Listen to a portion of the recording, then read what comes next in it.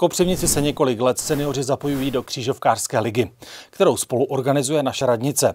Podzemní kolo bylo uzavřeno a jelikož se nemůže konat společné setkání s vyhodnocením, přiblíží základní informace Pavla Žáčková, která následně vylosuje čtyři osoby, které budou odměněny hodnotnější cenou. Kolik osob se letos zapojilo do podzimního kola a jakou úspěšní luštitele získají odměnu?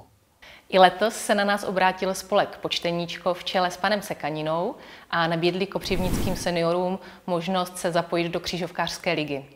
Ta je určena pro seniory nad 60 let a letos eh, na podzim se jí mohlo účastnit 40 seniorů.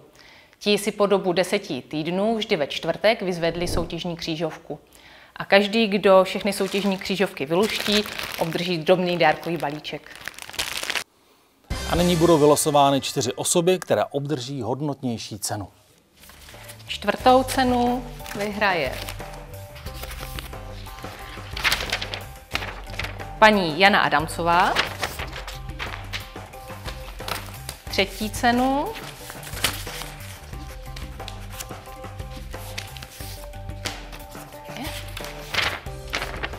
Jaroslav Hilský. Druhou cenu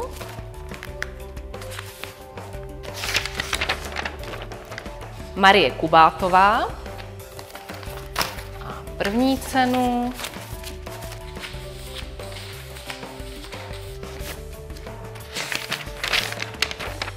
Olga Foldinová.